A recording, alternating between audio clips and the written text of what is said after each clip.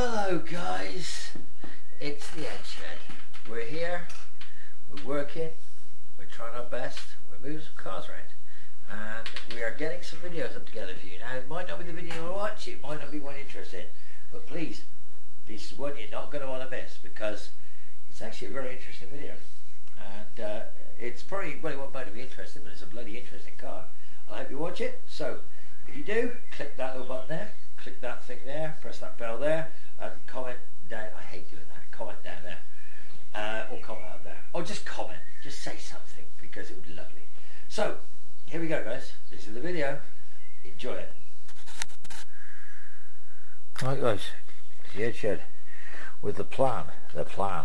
Now, here you can see all the crap, and obviously in the Ekrano plan front, that is what we were trying to do, which was make an exhaust. Now, I wanted to make an exhaust rather than buy one. Simple reason is, if I buy one, it's going to cost about 500 quid, even for a cheap one. There's no second hand ones around at the minute, so what we're going to do is we're going to use what we've got. We've got them tail boxes, and last night we made up a bracket to go up on there, which will work nicely. So that'll work those up. We found a sleeve pipe which is there. Uh, we don't talk about. Uh, I've done a bit of research into that. Uh, Energy is on at the moment, so we're having to go with the expensive lot because I can't be bothered. So that is the problem which we've got coming up down there. I've done a bit of research and those front timing case covers are different on the later cars. So maybe that's why that that sump doesn't want to fit up right against that cover. Notice that every day. Anyway, exhaust. Now, the exhaust system, as you can probably appreciate, being a, a sort of like a bespoke item for me, I'm having to wing it. Now, that's easy, as said than done, because as you can appreciate, it's very heavy, very dangly, and without being able to support it in yourself, it makes it very, very difficult. I've got some ideas for mountings, and I've sort of got the idea there. Uh, that one needs a pipe, and it needs to come. Now, what I'm going to say is that by the look of the 2 plus 2, the system actually comes a lot further back. So those pipes are not really long enough to sort of do what I want. Uh, so that one I've obviously chopped off, so I've got to lengthen that one. But I don't know whether to lengthen it so that they come equal here. Yeah. So I just lengthen it to there. Well, can you see that? I don't know what you want to see. Okay. But if I do it that way, uh, that will actually mean then that, that I'll have to then work out how far back I can go with the boxes and then obviously how far they come, those two there come under here. They look like that bit there is to swoop up under the diff case and come back level. So if that's the case then maybe I can use either those ones up there which are quite big and then I have to contend with the like downsizing or I use the cherry bombs which I don't have to mess with the downsizing. And I know what I'm thinking is that they are bent, but I could lay them and get them flat with the grinder because they're all bent to buggery and they're all bent down to clear the exhaust, but it all just fell to pieces, as you remember rightly. And I've chopped the section off of that one, which was over there. So I don't know. Anyway, well, I draw the plan.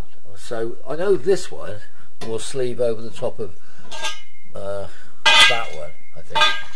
So I can do some joiners to join in, but I need to get that further back and I need to work out where that one, where they come.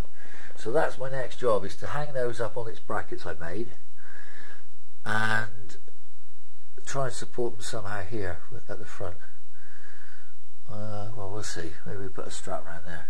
Yeah, okay. So that's going to do that. And then I can measure that, work out what I need to do.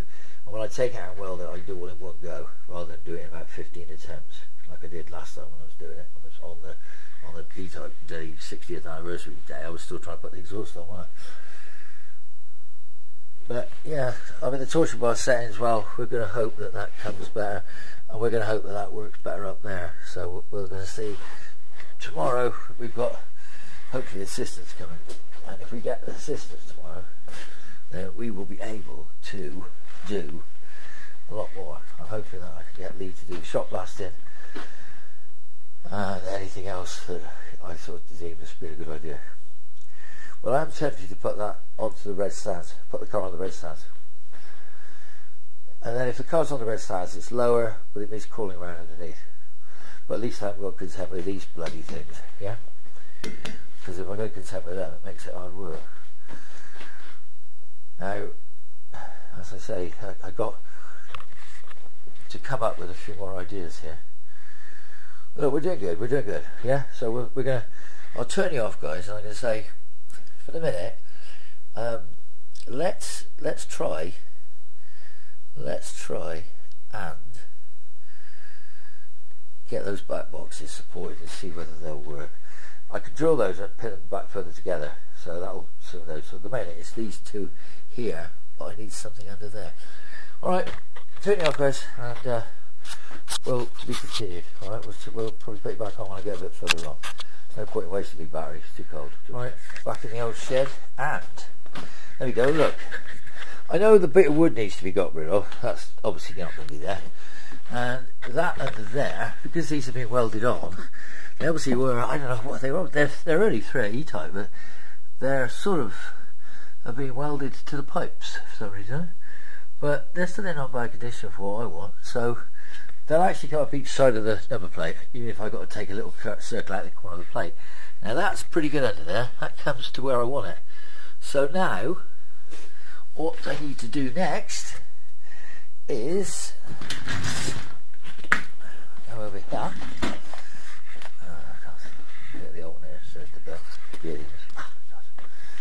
There we are, and see if I could find.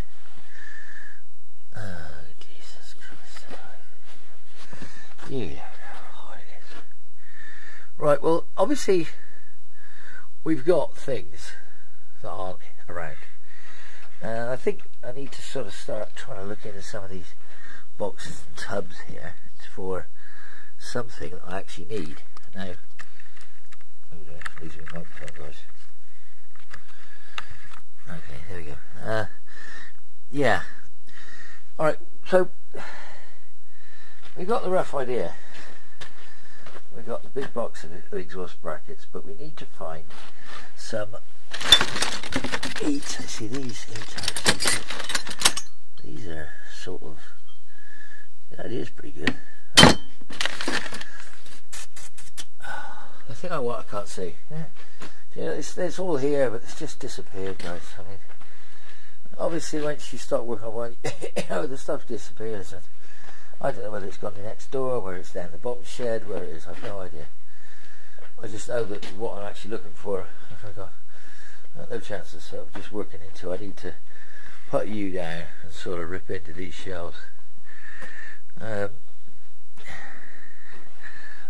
oh God, somewhere there. There must be here somewhere.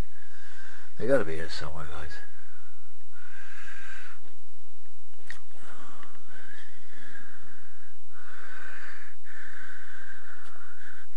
I don't know.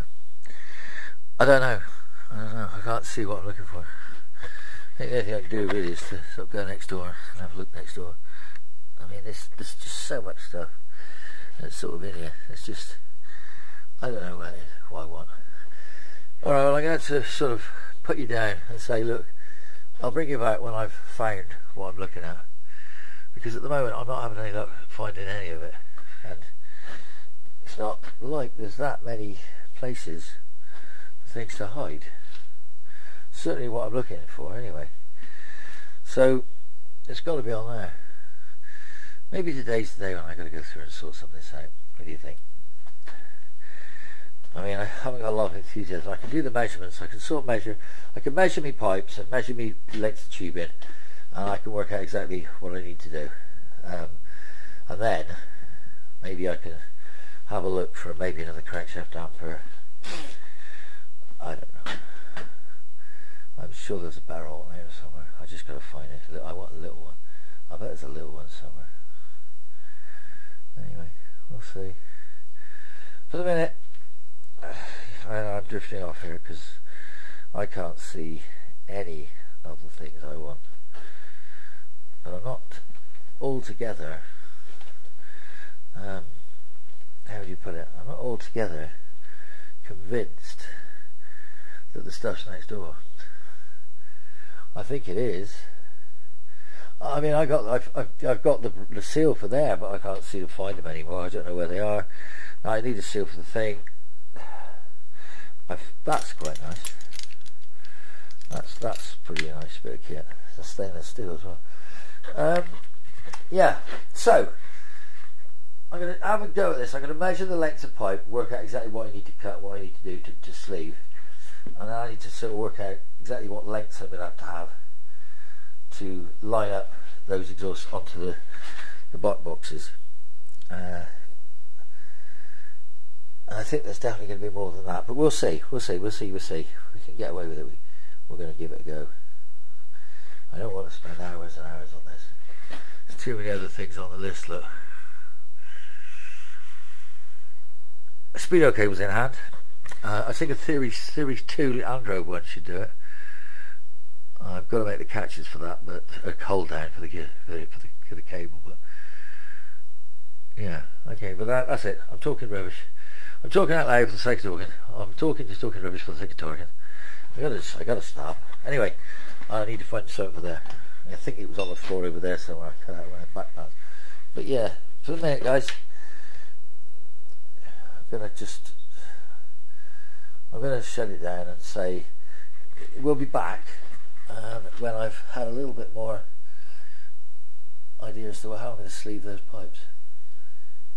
So, we'll talk to you then. This video, thanks for watching, thanks for liking, uh, preferably like, subscribe, bell, watch, up, down, wherever, and comment. Because if you do, I'll be really happy. Thank you. Because that's what I need.